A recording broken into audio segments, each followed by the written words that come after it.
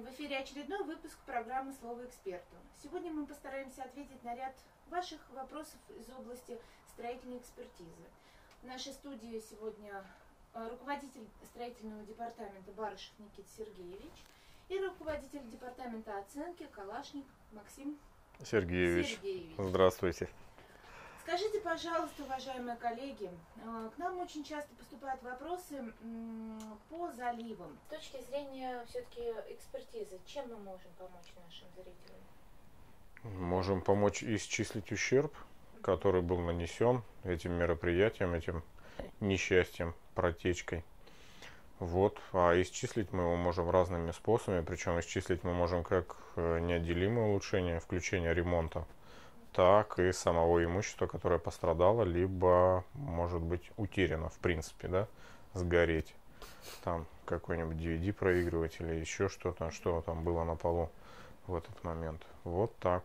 Получается, что а, отдел строительно-технической экспертизы а, может это сделать с помощью а, сметы, сметы на работы, сметы, ну, смета локальный документ, который, в принципе, исчисляет все, там, гаечки, арматуры, розетки, и все прочее, прочее, прочее. Но иногда смета не получается. Не всегда мы готовы сделать смету, да. А почему? получается? Какие причины? А, Объясняю почему. Есть а, стоимость ремонтно-строительных работ, она включает в себя определенный комплекс работ, скажем так. Да? Для обывателя это не совсем понятно. Вот мы все время пытаемся объяснить, там, да, почему мы уходим в оценку. А, почему? А, потому что есть работы явные, которые видно, есть работы скрытые. А, Что из себя представляют скрытые работы? Скрытые работы это работы, которые перекрываются другими работами. Ну, если в плане там залива или каких-то, ну, скажем так, вот э, косметического ремонта, это, предположим, шпаклевка там, да? Или там штукатурка стен. А, В смете там мы должны указать в один слой, в два слоя там штукатурку, да? Ну да, По- После этого идет покраска, квадратура. либо там поклейка обоями, там э, грунтовка, э, грунтовка, потом э, поклейка обоями. Э, В данном случае мы не можем это установить, что было э, у заказчика до того, как его залили. Соответственно, здесь э, сметная стоимость, она, скажем, так как Максим правильно сказал, она это очень точная наука. То есть каждый прутик там, э, арматуры, там, да, э, каждый, там, каждые 100 грамм шпаклевки, они должны быть учтены в смете. В противном случае в суде это- э, эту смету можно будет оспорить. То есть смета это в принципе э, фактически понесенные затраты, а фактически я называю то, что вы сможете доказать. Да, Нет, действительно, смета там был слой, это, два это слоя. очень точная наука, которую мы э, в случае э, залива подтвердить не можем. А, ну, когда мы, это, когда да, мы это наоборот. подтвердить не можем, то мы э, просим помощи оценщиков, Да, потому что у тут подключаемся. у них, у мы них, э, немножко проще все. То есть есть рыночная стоимость. отдел Ры- оценки. Да, Да, мы Рыночная обратимся. стоимость, там, предположим, там укладки ламината за квадратный метр. Да, все верно. Э, рыночная стоимость там окраски стен, там, да?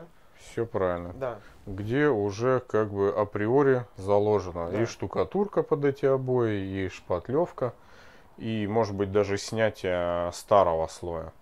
Поэтому, в принципе, да, действительно, если отдел строительно-технической экспертизы не может вам помочь с метой, ну, в том случае, если вы не можете подтвердить эти работы ранее проведенные, то отдел оценки имеет несколько больший диапазон своих действий. То есть э, отдел оценки устанавливает среднерыночную стоимость, ту, которая необходима для того, чтобы э, воспроизвести эти все потери и устранить. Да, хотелось бы еще Ремонт. одну вещь особо отметить, что касается заливов. Ну, в принципе, это всех строительных экспертиз касается, ну, вот, заливов в частности. То есть э, обращается заказчик и говорит то, что э, я два года назад там сделал ремонт, вот я сделал себе там, ну, там, скажем так, будем называть его евроремонтом, да, Э, говорит, и меня вот залили, все стены потекли, там мы сейчас не говорим ни об оборудовании, там, ни о телевизорах, которые там заливают, это отдельно товароведческая экспертиза, мы сейчас немножко не об этом. Вот. И э, начинает говорить, то, что у меня же есть э, товарные кассовые чеки. Да. О да. том, что вот у меня кассовые чеки есть. э, То, что я проводил ремонт, покупал вот обои, которые вот они здесь висят, там краска, там ламинат, там все вот это. А, хочу отметить то, что эти все кассовые товарные чеки, они для суда и в рамках экспертизы, там, да, я не знаю, ну, для суда, может быть, там имеет вес какой-то, но в, в рамках строительной экспертизы веса никакого не имеют. А, объясню почему. А, потому что данный кассовый либо товарный чек, его никак не можно привязать к фактически э, наклеенным обоям, или к фактическому ложному ламинату. Ну, то есть, в принципе, у суда, как у простого обывателя, возникнет вопрос, да, или у оппонента, а действительно этот чек относится к этому ремонту нет, или нет? у нас просто суд очень часто задает этот вопрос. То есть в материалах дела присутствуют эти чеки, э, товарные, кассовые, там, и суд нам задает вопрос, а вот эти чеки, вот у нас же есть подтверждение того, что вот материал есть да. такой же. Он, он, конечно, такой же. Да, он куплен в каком-то магазине. Но это вовсе не означает, что данный материал был использован. Куплен, им, купленный именно по этому чеку, уложен именно здесь. Согласен. Вот в этом проблема. Согласен. Да. И э, когда нам заказчики звонят, и адвокаты звонят и говорят, мы там на 100% уверены, то, что вот у нас же есть товарный чек, кассовый чек, у нас все есть.